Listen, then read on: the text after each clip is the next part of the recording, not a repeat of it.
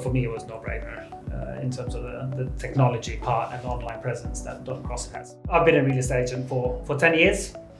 Um, and so I thought I'd be nice and calm and wouldn't be one of those to, to need my conveyance too much. But Dun Cross, I've been working with them for years through my previous clients. So for me, it was a no-brainer going with them. I think the biggest value add for us when using Dott and Crossitt was the fact that the date we exchanged was late December and basically the whole legal industry, real estate industry closes down for two, three, four weeks over that period.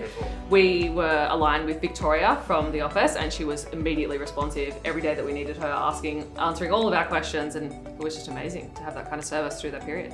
It wasn't just the, uh, the, the, ease of that, but we don't really have time to come into an office and, and see a conveyancer and, and, and sign up as one did back in the old days. For, for years, I've passed all my clients to Jared, um, so he has a chat with them, um, and then he um, hands that over to the correct legal representative for my clients.